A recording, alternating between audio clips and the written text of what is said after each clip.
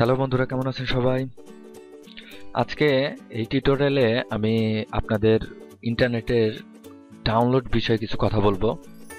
আমরা সবাই কম বেশি ইন্টারনেট থেকে ডাউনলোড করে থাকি। সাধারণত বিভিন্ন ওয়েবসাইট থেকে বলেন ইউটিউব বা গুগল যে কোনো সাইট থেকে আমরা ডাউনলোড করে থাকি।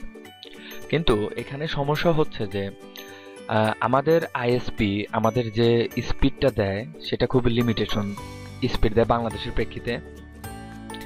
যেমন, আমরা ইন্টারনেটের স্পিড ধরেন যে দুই এমবিপিএস ইউজ করি।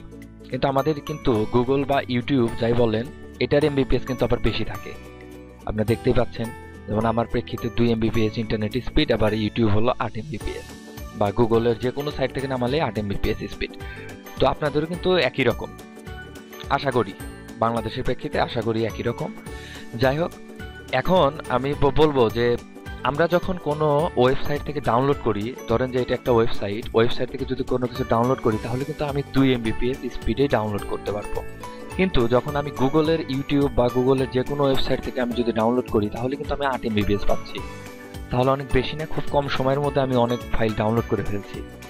কিন্তু আজকে এই টিউটোরিয়ালে দেখাবো কীভাবে আপনারা গুগলের স্পিড গুগলের বা ইউটিউবের স্পিড ব্যবহার করে যে কোনো ওয়েবসাইট থেকে ফাইল ডাউনলোড করতে পারেন।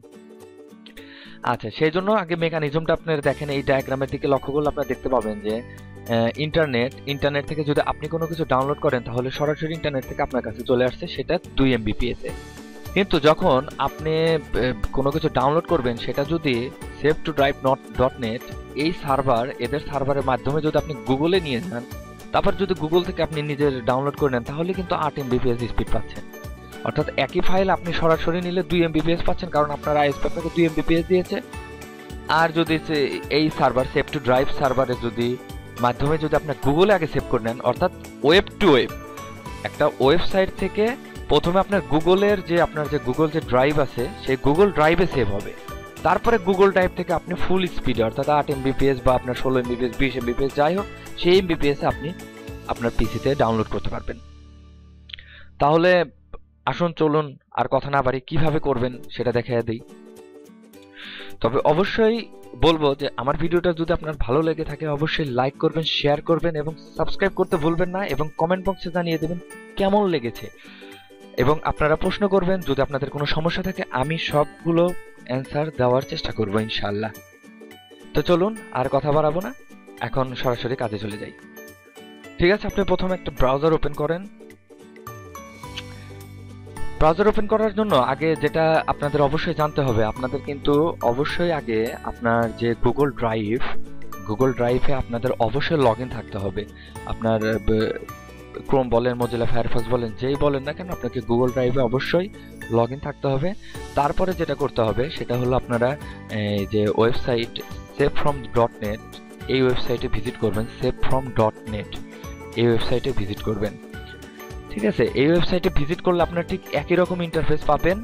পাওয়ার পরে এখানে হয়তো আপনাদের লেখা দিবে, প্রথম আপনি যদি ফার্স্ট লগ করেন, তাহলে আপনাকে এখানে লিখবে আন অথেন্টিকেটেড তখন আপনি আন অথেন্টিকেটেডের উপর অথেন্টিকেটেডের উপরে টিপ দিয়ে ক্লিক করলে আপনার অথেন্টিকেট হয়ে যাবে। যেমন আমার আমার ইমেল দিয়ে আমি অথেন্টিকেট করেছি। তার মানে এই, আমার এই ইমেলের সাথে আমার এই সেভ টু সার্ভারের কানেক্ট হয়ে গেছে।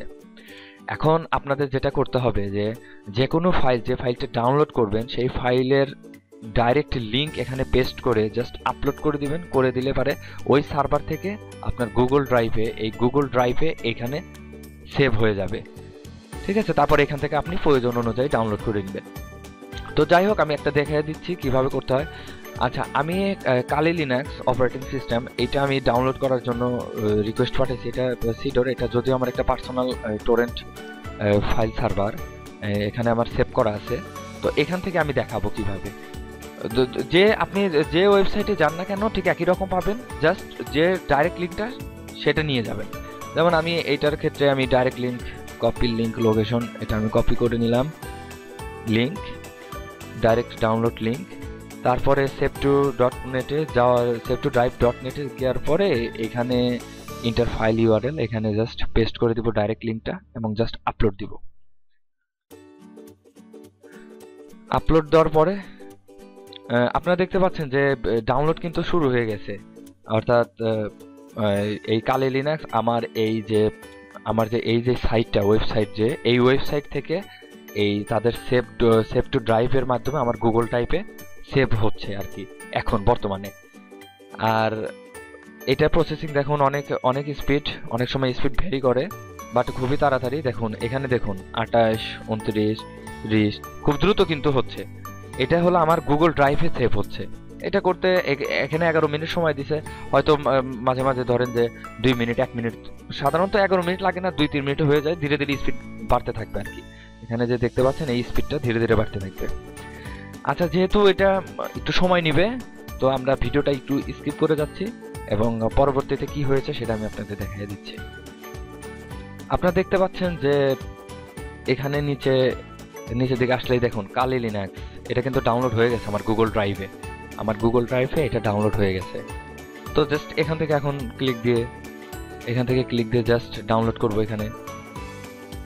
ডাউনলোড ডাউনলোড এনিওয়ে এখন এটা হাই স্পিডে ডাউনলোড হওয়া শুরু করবে। দেখুন, দুই, তিন এমবি এটা যদি আমি যদি আপনাকে স্পিডটা দেখাই দিই, তাহলে দেখুন দেখুন স্পিডটা কেমন ডাউনলোড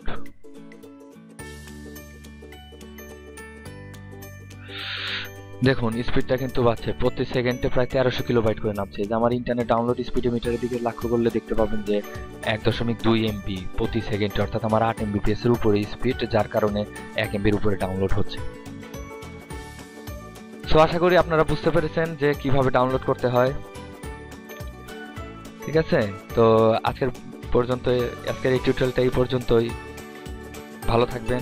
অবশ্যই সাবস্ক্রাইব করবেন। প্লিজ প্লিজ সাবস্ক্রাইব করবেন। নতুন চ্যানেল ওপেন করছি বলে নতুন চ্যানেল দেখে কোনো ভিডিও নেই দেখে এড়িয়ে যাবে না। এরকম আমি আরও অনেক টেকনোলজি বিষয়ক ভিডিও নিয়ে আসব। সে পর্যন্ত ভালো থাকবেন। আল্লাহ হাফেজ।